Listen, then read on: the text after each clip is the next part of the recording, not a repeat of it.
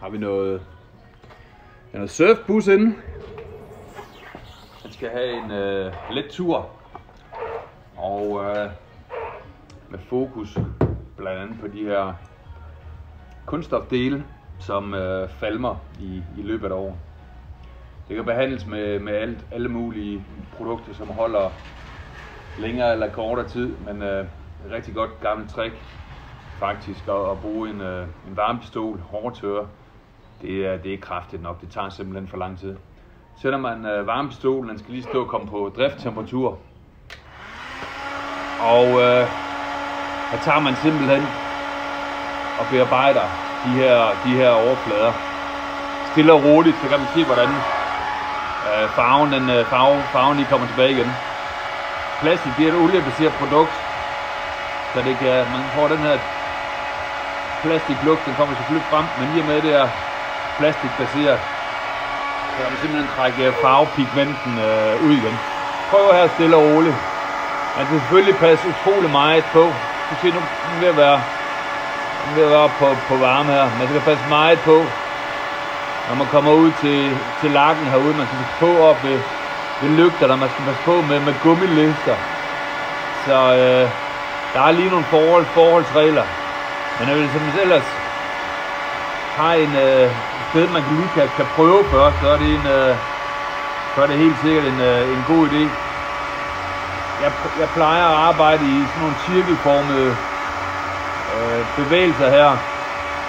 Og det er simpelthen for at minimere øh, striber. Når der er sådan, man, man, øh, man varmer det her op. Fordi man kan godt se efterfølgende, man kan godt se, at der at den ikke er 100% ny. Øh, der, der kommer lidt sådan nogle spor i efter, hvordan man bevæger den her øh, varmepistol. Den her afstand, jeg er på, den er, den er meget fin. Og man skal også passe på, at plasten ikke bliver varmet for meget op. Fordi så, så smelter lortet simpelthen. Øh, og ikke noget med at sætte fingre ind på og så videre, fordi så har du bare dit fingeraftryk siddende, eller plastikhandsker, eller hvad ved jeg. Så det, det, er, det er en god idé, hvis man har en eller anden plastdel, man først kan, kan teste på. Det, vil, øh, det giver rigtig god mening for, at man, man går i gang på, på det projekt, som, øh, ja, som nu var, ja, som man nu har planen. Så det tager lidt, tager lidt tid, men øh, holdbarheden den er, den er virkelig god. Det har nu er pigment, nu er farven fremme igen, og det holder virkelig, virkelig lang tid. Så kan man give dem en eller anden form for forsejling efterfølgende. Den her den får noget, noget netshield. Det er også et rigtig fint produkt til, til plast. Det giver lige lidt, øh, tilføjer noget, noget yderligere farve. Og så gør det også, at det, øh, det praller af, øh, når, når der kommer, kommer vand på. Det er meget øh, vandafvisende, så det er et produkt, du man både kan bruge på, på lakken og på, og på pladsen.